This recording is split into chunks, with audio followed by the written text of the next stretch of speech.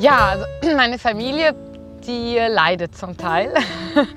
Die, nein, andersrum. Die Familie unterstützt natürlich meinen, meinen Job und mein Mandat. Ohne das ginge es nicht. Ja, also wenn die jetzt wirklich ständig zu Hause sitzen würden und würden sagen, oh Sabine, wann kommst du nach Hause? Und ähm, wir wollen gern Samstag, Sonntag ähm, 24 Stunden rund um die Uhr mit dir verbringen.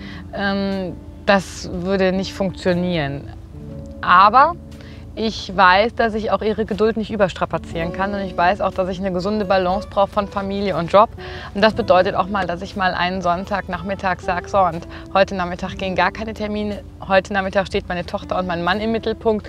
Oder wir treffen uns mal mit Freunden oder genießen einfach nur mal den wunderschönen Westerwald bei einem schönen Spaziergang. Das muss es auch geben. Also solche Oasen der Ruhe braucht es auch. Und wenn ich irgendwo Kraft tanken kann, wenn ich irgendwo die Akkus aufladen kann, dann ist das bei meiner Familie. Dann ist das, wenn meine Tochter mir in die Arme läuft und Mama schreit. Das ist das wirklich dann, wo ich sage, ja, das ist super. Ja. Weil wir, wir kriegen auch von Freunden schon mal so zu hören, oh, wie schafft ihr das und ist das nicht alles viel zu viel und bleibt dann nicht zu viel zu Hause liegen und was ist mit Familie? dann sagt mein Mann immer so, ich weiß, dass ich keine 9-to-5-Frau geheiratet habe, sondern ich weiß, dass einfach mehr Engagement erforderlich ist und das wissen wir und von daher, ja, von daher klappt das auch. Ihr wisst auch, ich wäre unglücklich, wenn es nicht so wäre.